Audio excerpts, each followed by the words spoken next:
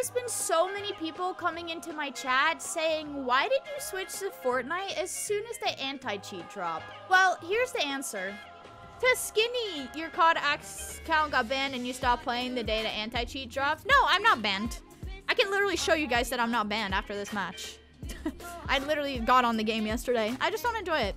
COD isn't what it used to be. It's kind of sus though. Why'd you stop the day it dropped? Because uh, I, I didn't stop the day it dropped. I stopped the week before. Here, I'll show you.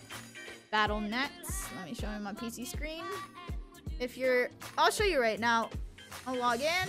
Log in. This is my main account. It's perfectly fine. There's no ban. Literally. I just... I stopped playing a week before it dropped. I just got tired. I just wasn't finding enjoyment in it. I wasn't liking the content I was making, and so I switched to a different game. Gave myself a new challenge, and now I'm on Fortnite again. I used to be in love with Fortnite, and here I am.